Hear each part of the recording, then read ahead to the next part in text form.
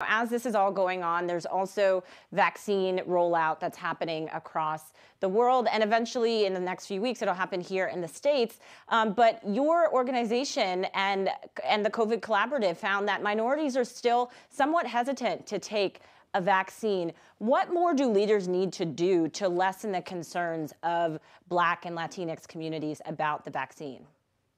But I don't think you're going to lessen their concerns overnight because we do live in this reality of past medical experiments that were intentionally misleading uh, against the need to have more diversity in clinical trials. And so for NAACP, we will be hosting a teletown hall meeting next week to talk about the tension between the two of those realities, bringing to bear uh, experts in the field to answer any questions and talk it through because we must get uh, this, this a global pandemic under control while at the same time answer as many questions as possible so people can feel comfortable with participating in the vaccine.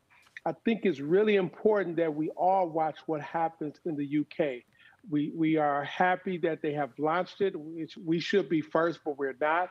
But we can watch to see are there going to be any side effects? What will be the impact of the massive vaccine uh, vaccinations that they're doing? And how fast can they turn around the contraction of COVID? Uh, we should be watching that closely as a country, and but also as a community. Absolutely. Well, I think we're going to leave it there. Derrick Johnson, President and CEO of the NAACP, thank you so much for your time this afternoon. Please come back to Quicktake. You always have a spot here with us. Tim?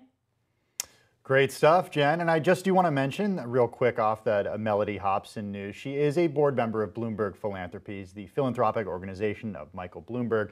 He's the founder and majority owner of Bloomberg LP, which owns Bloomberg News.